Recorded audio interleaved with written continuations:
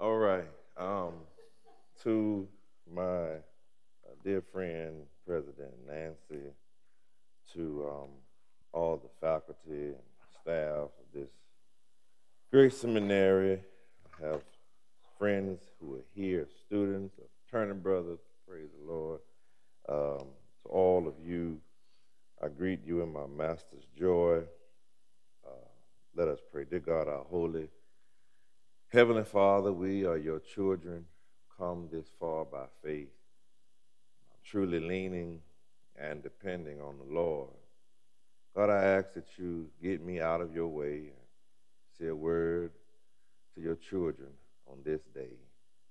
In the mighty, majestic name of Jesus the Christ, we do pray. Amen. I um, here this Monday morning, and for most pastors, preachers, you know this is our Sabbath. Um, I preached twice on yesterday. The latest one was at 8 o'clock, so I didn't get in till late and um, had to wake up early this morning. I hadn't woken up this early on a Monday morning since I was in school. Um, but I'm thankful to be here and thankful for the invitation. But I say all that to say our deaf in the words of Elizabeth Taylor to her husband, I won't keep you long. Um, if y'all don't get it, don't worry about it. Um, come with me to uh, our gospel according to John chapter 3, chapter 3, verse 1. Chapter 3, verse 1. This is what God gave me just for you there was a man of the Pharisees named Nicodemus, a ruler of the Jews.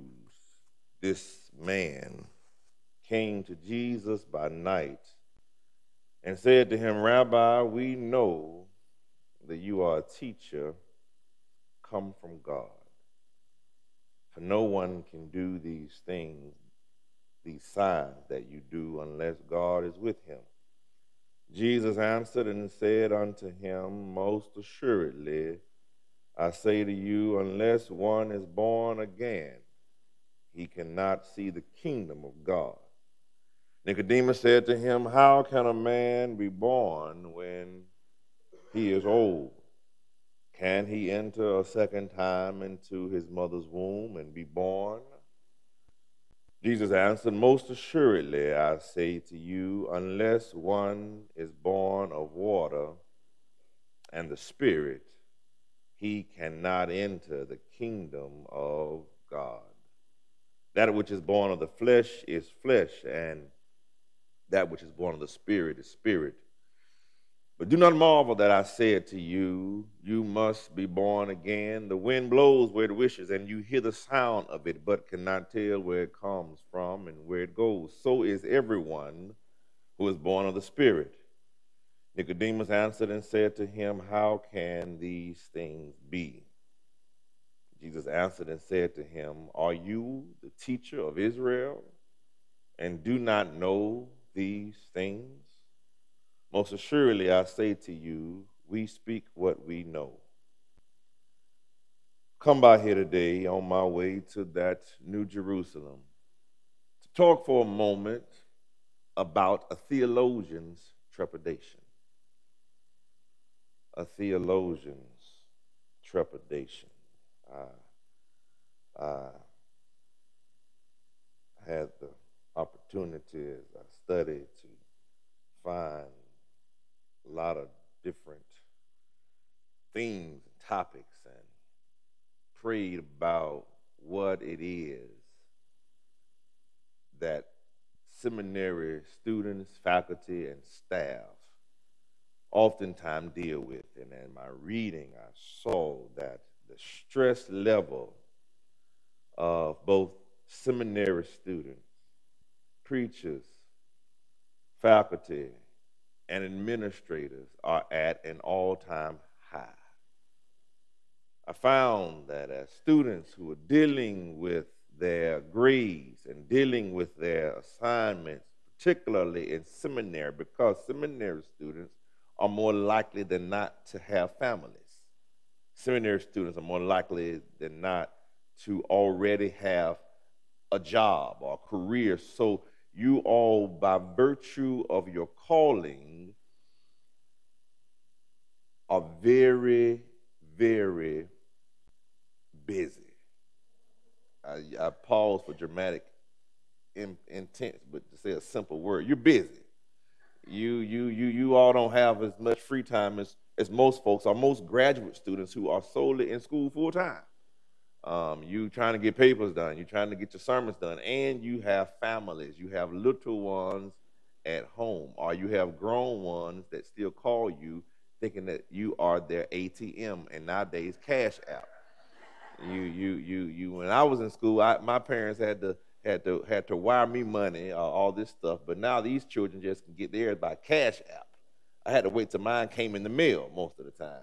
Um, but these children get theirs by cash app, and so there's a lot of trepidation. There's a lot of trepidation from the student side and from the administration side when you're when most of you have other jobs and most of you are trying to grade papers and, and keep families together and you're dealing with students who may be called but not yet refined and you are trying to encourage them in their calling but at the same time refine the gifts because this is the only profession where you think, really, some folks, they don't need anybody to tell them how to do what God called them to do. God called me. I don't care what the professor says. I, I, don't need their approval. I know my sermon's good. I don't need, because God gave me every word, every line, every topic. But here we have, here we have this, this theologian, this man named Nicodemus who, who was a Pharisee, who was a Pharisee, and I just lost a lot of weight, so a lot of my clergy collars don't fit me anymore. I thank God for losing weight, but it makes my collars feel a little awkward sometimes.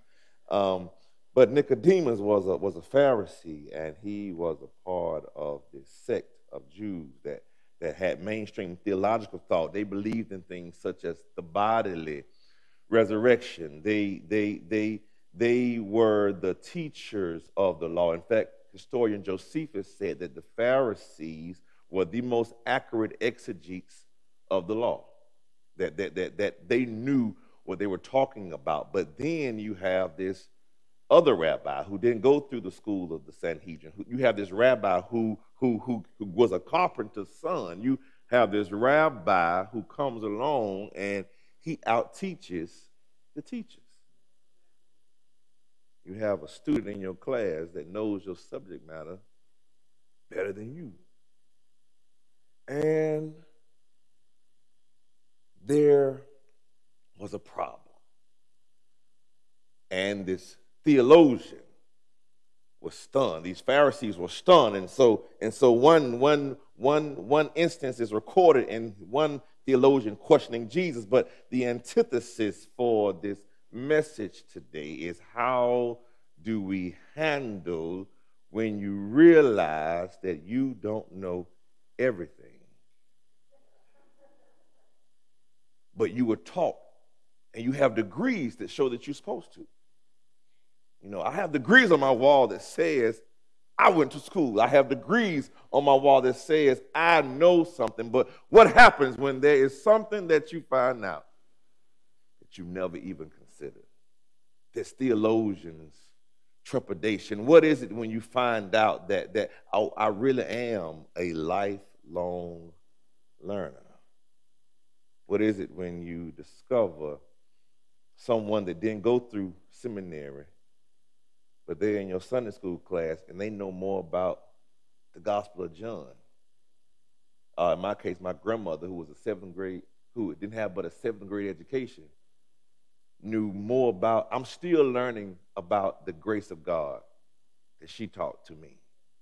And so, and so Nicodemus had this trepidation, and, and, and how did he do it? The first thing he did was was was eh, he came to to Jesus. And so this leads me to my thesis. I'm borrowing from the Hegelian method of dialectic preaching, and and, and, and, and, and, and it is that God is always ready to teach, but we, his children, must be ready to learn. And as we synthesize this, this title, this, this, this antithesis and the thesis, we, we, we see the first thing that comes out is that Nicodemus had some nightly activities. Nicodemus went to Jesus. The Bible says this man came to Jesus by night. Why? Because he was busy in the day. Why? Because he didn't want to be seen with Jesus in the day. Why? Because he was a man of great stature and he didn't want people seeing him ask questions.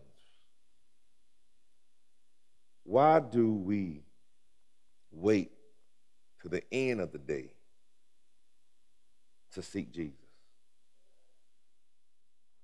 Why do we wait till we've spent all of our energy in the day doing everything God knows what? But once we get to the twilight of our life, why do we say, Oh, I guess now I need to talk to the Lord? Hold that. Why do we not want to be seen with Jesus in the day? Preachers don't want folks to know they preachers. I know because I've been there. You, you, you, you don't even tell them what you do for a living.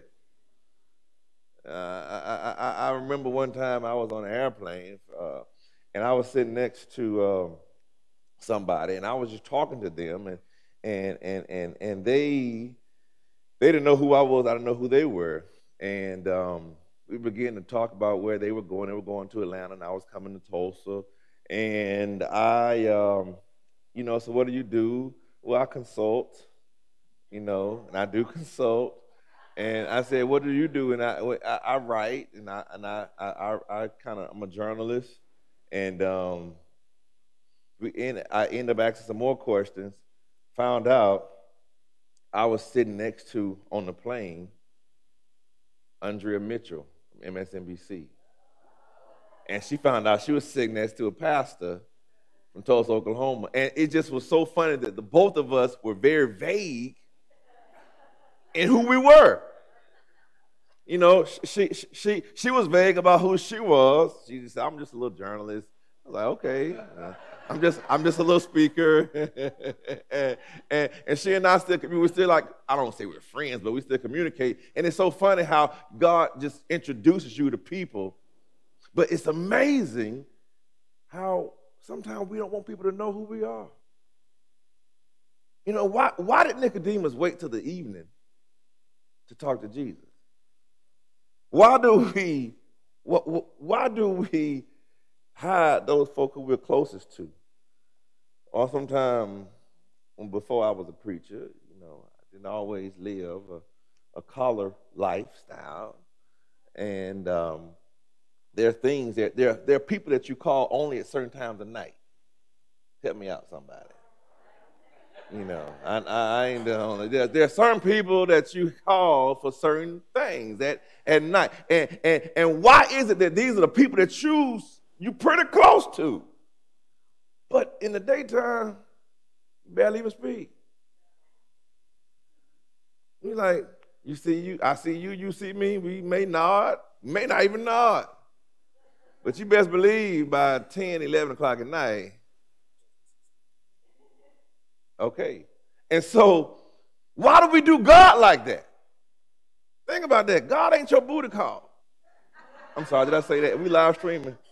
Oh my, okay. But but he he he he should be. He he he he he he he should be somebody that you should be seen with. I'm just trying to make it plain. I'm just I'm just I'm just you know.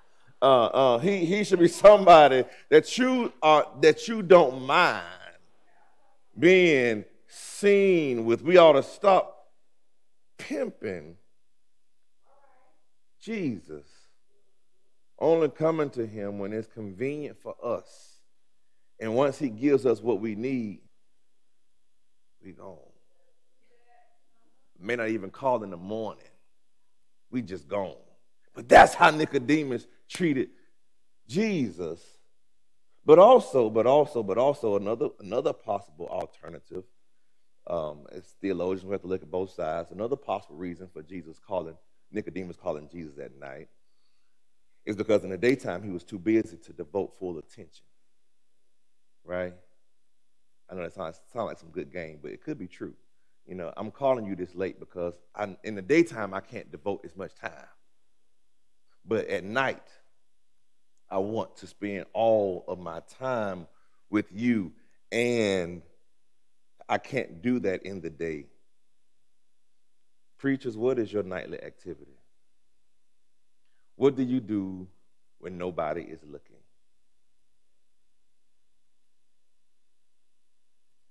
Nicodemus' nightly activity, though it was at night, at least his nightly activity was spending time with the Lord.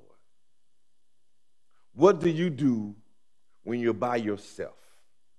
I have students, I teach, and I know that every night they're on their laptops, they're not working on papers. they every night they on laptops, they're not doing their homework assignments. What do you do at night? I can tell by, by, by reading their papers. And you spent you say you spent all night on this paper. What were you really doing on your laptop at two in the morning? And those are the type of questions that, even though we can get upset at Nicodemus, at least he talked to Jesus at night. I could have think I could think of far worse people he could be entertaining. The next thing is that when if you notice about this exchange is that Jesus, when he answered him in verse 3, he said, Most assuredly I say to you, unless one is born again, he cannot see the kingdom of God. I laughed when I read that because nowhere in verse 2 did Nicodemus ask about the kingdom of God. Exegete the text, preachers. He, Nicodemus came to Jesus at night and he says, Rabbi, we know you are a teacher come from God, and for no one can do these things, can no one can do these signs that you do unless God is with him. Jesus responds, Most assuredly I say to you, unless one is born again, he cannot see the kingdom of God. What you what you talking about, Jesus? Nicodemus didn't ask anything about the kingdom of God, but Jesus answered with that. And it led me to believe, and God spoke to me and said, Jesus never minds your question, He still gives you the answer.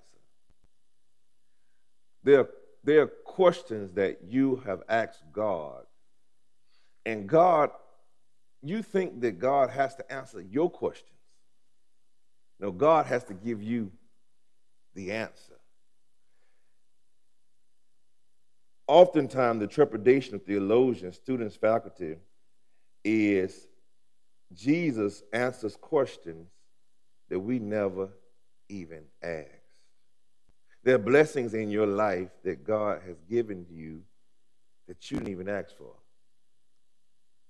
There are things that you are asking for that God has yet to do, but meanwhile, He is giving you things that you never even thought to ask for. Case in some of the best blessings we never asked for. We are alive today. How many of us asked our parents to be born? Some of the best, if you survey your life, give yourself a spiritual autobiography, some of the biggest blessings in life you didn't ask for, but God gave. I'm from Alabama. I say said stressing Alabama. That's how we say it. Alabama. I've never prayed a prayer in my life to come to Oklahoma. Never. I, not one time in my life did I pray to God, Lord, send me to Oklahoma. Never on my prayer list. But look at God and I'm in the great state of Oklahoma. Some of the best blessings. Some of you didn't ask for the children you have. You just had a late night call one day, and nine months later, there it is. But your child is a blessing. Some of the jobs that you have, you didn't even apply for. I'm telling you what God loved, the truth. Some of the best jobs I've had, I never applied for. Somebody said, you know what? Would you be interested? I'm like, you know, I, I wouldn't, but since you mentioned it. But that's how God did Nicodemus. Nicodemus didn't ask about the kingdom of heaven, but Jesus looks beyond what we ask and sees what we really need to know. And so, what we need to do always as Christians is have our and spiritual antennas up that we can receive what God is trying to impart upon us. And when we pray, have a moment in our prayer for listening for the answers to questions, even if we didn't ask. That is why reading your Bible is so important. That is why, even in class, there, there may be questions that you don't ask, but somebody else asks.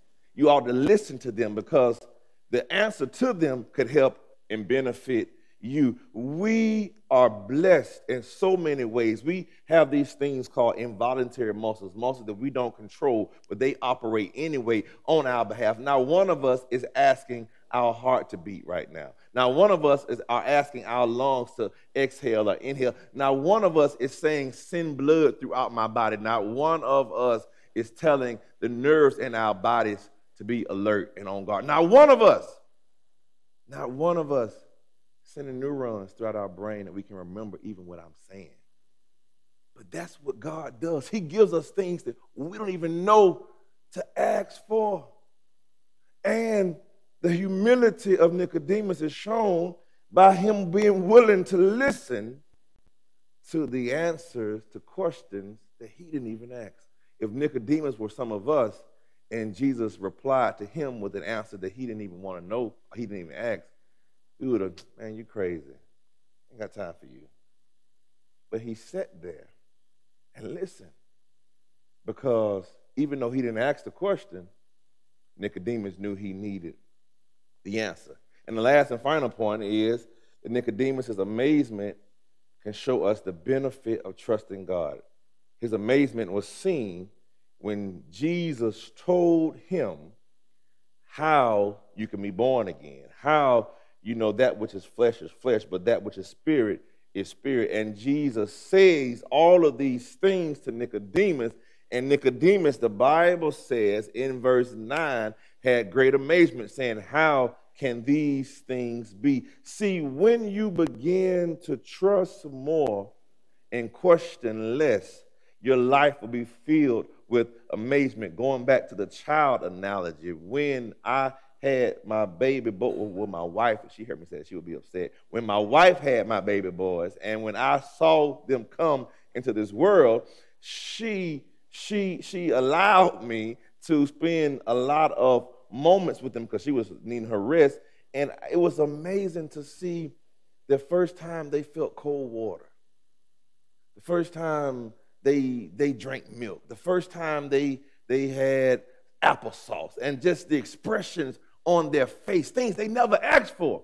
But but but but to see the expression when they when they had when they had uh, yogurt for the first time, and and and sometimes in life we can get so used to things, but we fail to realize that every day is a miracle, and every day is a new opportunity to experience life in a different way. And you see that amazement the most in children and in babies. The first time that my children learned how to walk, it was the moment I would never forget that a baby that has been used to being carried or crawling on all fours, finally standing up on the corner of a couch and taking their first wobbly steps and realizing that they can do it.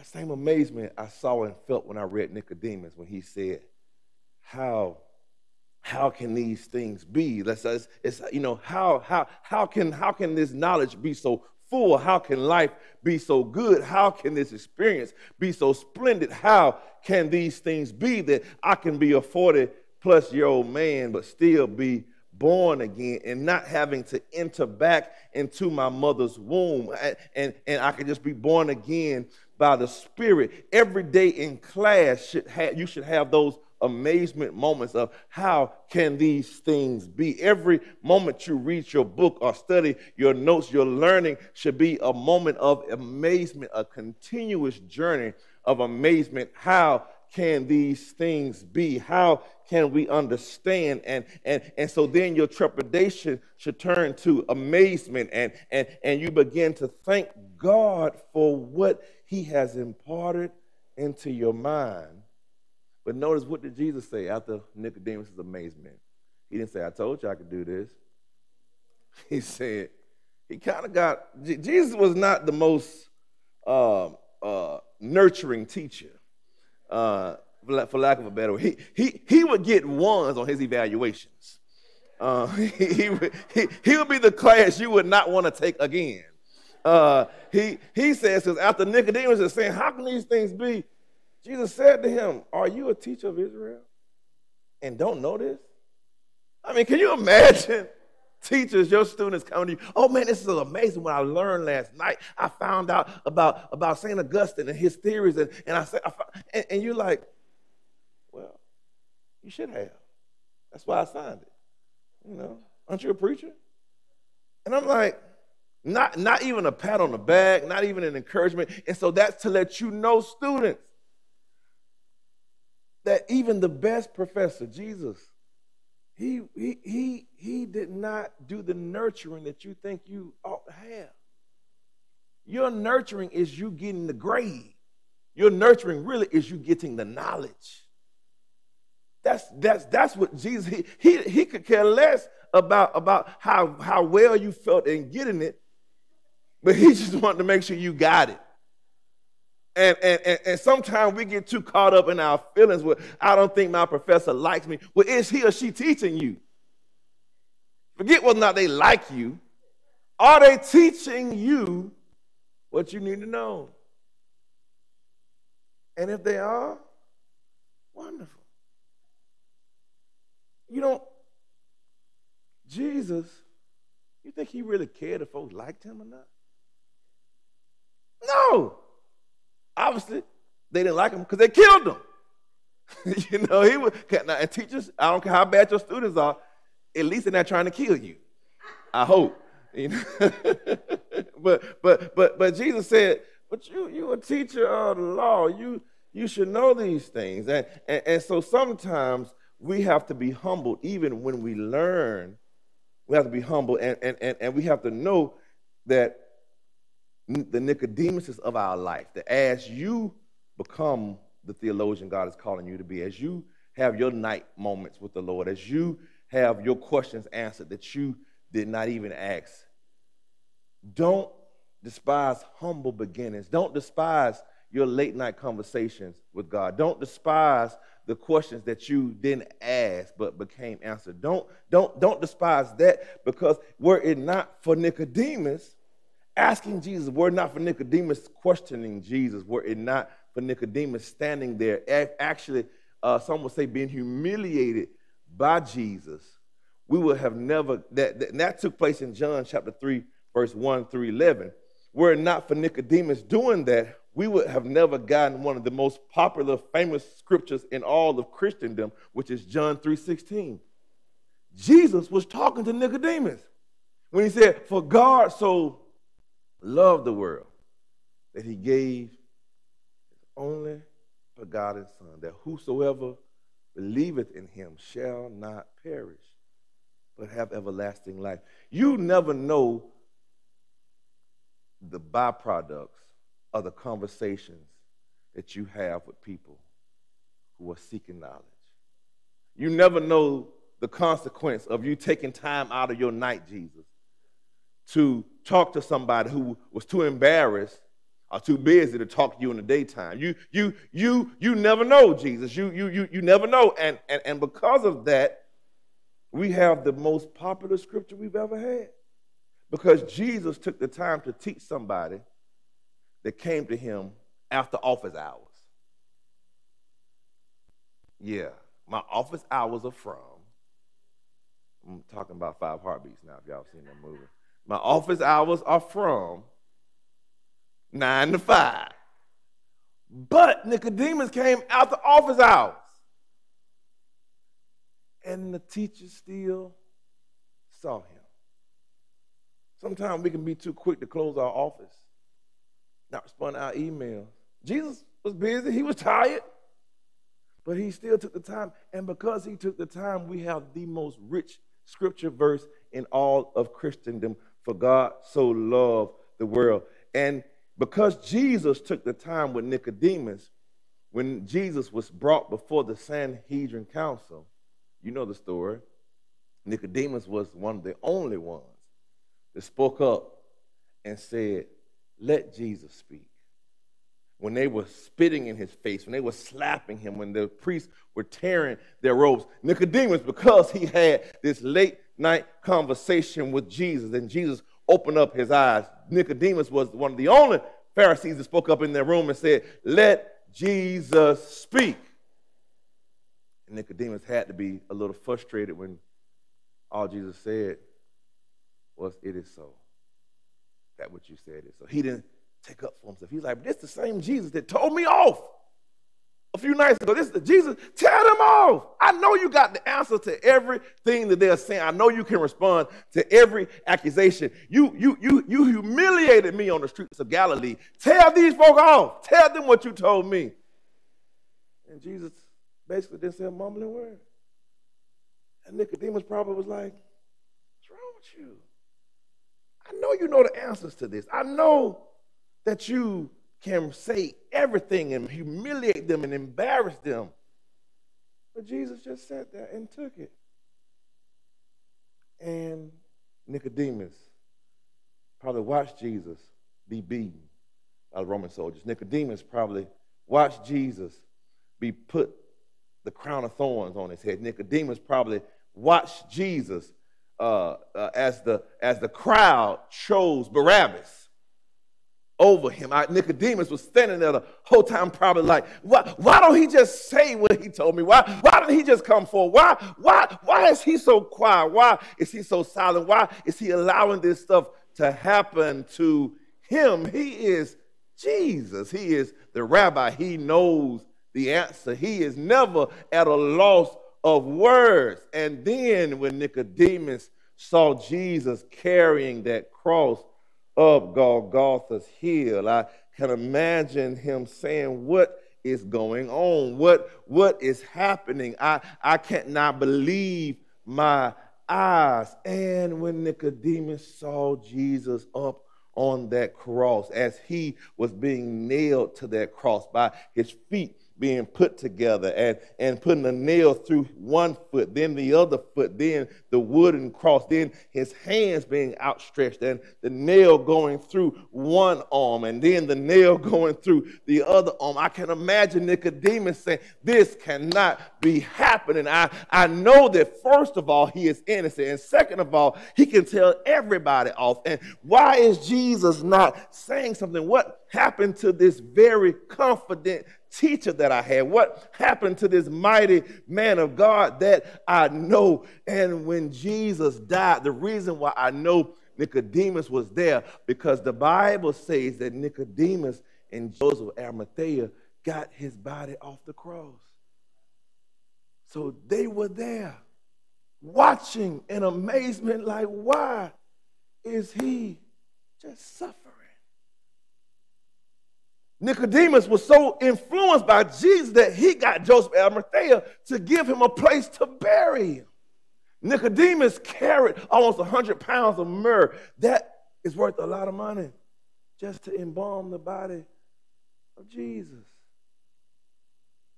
This Nicodemus once was a student of Jesus, once was a teacher, then became a student. That's a sermon by itself once a teacher, then became a student, and lastly became a follower because he watched his teacher suffer. And sometimes in life, teachers, it's important for us to have all the answers, but also sometimes in life, it's important for our students to see our vulnerability. It's important for them to see, yes, we are human too. One thing I try to do as a pastor is never allow my congregation to put me high up on a pedestal. Because sometimes they just watch you fall.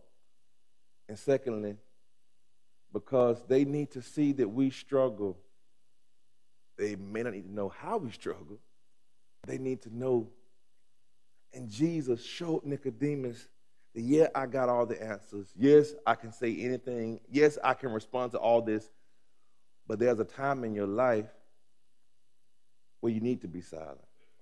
And Jesus was silent. Jesus took that punishment for Nicodemus. So if you can imagine Nicodemus saying, Jesus, why don't you say something? Jesus, why don't you do something? And Jesus is like, I am. Y'all missed that. Jesus, Nicodemus thinking, why don't you do something? Why don't you say something?